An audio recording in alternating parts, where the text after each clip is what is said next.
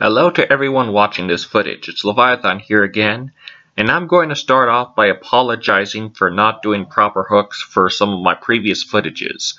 Since there would be people who wouldn't be watching this podcast chronologically, I decided that I just have to uh, keep them up, you know, just to give them a chance. So I'm born high-functioning autistic, I'm obsessed with fiction, and I'm trying to make my Leviathan universe, which would be like a successor for Stan Lee's works, if that's the right way to put it. And if you guys bear with me and be able to tag along as I read this storyline of a character in my Leviathan universe, just try your best to keep up. The Master, number one, The Beginning created and copyrighted by Levi Corsi Ames, July 18, 2015. To begin the story, we start traveling across New York City until finding ourselves in an apartment where a woman was watching TV. This story is particularly about her. Her name is Professor Rachel Brians. She has bluish green eyes, short deep brown hair, and appears highly feminine. She was watching her usual science-based channels until being interrupted by the local news station. There, a male reporter stated the following. Breaking news. The Brians couple, parents of the famous Rachel Brians, was killed a few hours ago involving their car being destroyed by a gangster's bomb. As he continued, Rachel became more and more in shock until deciding to turn it off, weeping after doing so. How could this even happen? My parents are dead. I can't believe this is happening, she finally said to herself in such unbearable grief. The next day, Rachel went to her lab and decided that to avenge her parents' murder, she had to be far smarter than she already is. After a few non-stop hours of doing some advanced chemistry, she finally created a formula with a blue substance inside. The family, Rachel said as she drank all the formula. After that, she started screaming in pain due to a striking sensation in her brain that caused her to pass out on the laboratory floor, and everything went black. When she awoke, she felt a bit loopy until realizing that her hands were blue, and when she rushed to the closest mirror to her, she found that she went through an odd transformation.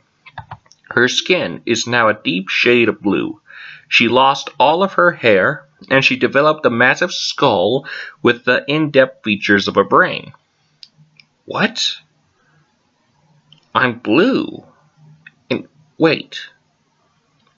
Is that my brain? Well, at least the formula did something, she said to herself. After examining her physical transformation, she found that her IQ number is now 1,480, and also found that she has telepathy, telekinesis, and projects psionic death beams from her forehead.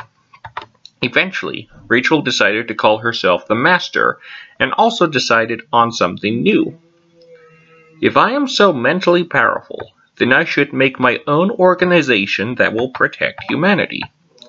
That should do the trick.